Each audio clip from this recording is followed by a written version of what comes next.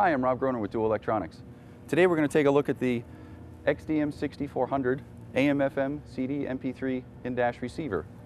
It features 50 by 4 power outputs, full electronic detached faceplate, front panel USB connectivity. Behind the hidden cover here we can plug in USB thumb drives, playback MP3s, and WMAs, and also includes a front panel 3.5 millimeter input. One preamp output, and it is also Bluetooth ready that works with our BTM60 Bluetooth module. This is the Dual XDM 6400.